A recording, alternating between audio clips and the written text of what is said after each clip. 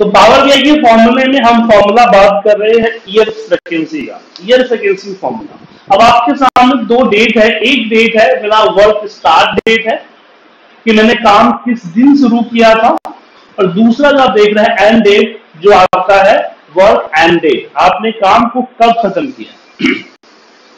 तो इसमें क्या है कि आपको एक साल का, इन सबको एक साल का कॉन्ट्रैक्ट दिया गया और एक साल काम के लिए उनके फिफ्टी थाउज़ेंड रुपीज़ का या फिर पाँच लाख रुपए या दस लाख रुपए एक अमाउंट फिक्स की गई। अब मुझे उस अमाउंट इनको देना है तो मुझे पता करना है कि उन्होंने कितना परसेंट काम किया। बात समझे? मतलब तीन सौ पैंसठ दिन का इनका बिलिंग पीरियड था। तीन सौ पैंसठ दिन के जगह पर उन्होंने साठ दिन, दो सौ पैंसठ दिन, दो सौ सौ दिन, ऐसे उन्होंने काम किया। तो बस मुझे ये पता करना है कि ईयर का उन्होंने कितना परसेंट यूज़ किया, ताकि इनका परसेंटेज निकाल सके।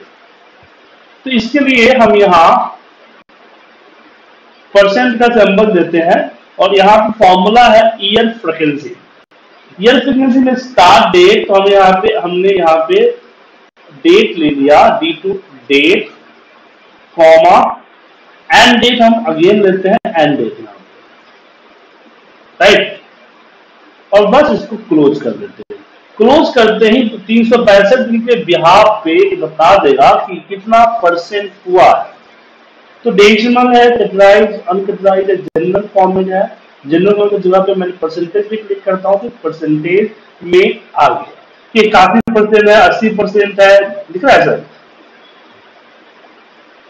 अब मुझे इस बोलिए। नहीं सही है, सही मुझे लगा सबका सेम नहीं इसका अलग है।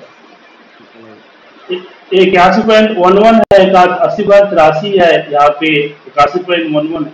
तो दिन के हिसाब से है। अब इसमें मुझे मान लीजिए कि इसका मुझे आ, मुझे पाँच लाख का बिल्डिंग है तो पाँच लाख से हम मल्टीप्लाई कर देंगे तो ये हमें पता चल जाएगा कि हमें कितना अमाउंट देना है। ठीक है? क्लियर है? तो ईयर फ्रिक्वेंसी का यूज़ हम इस चीज़ों के लिए करते हैं।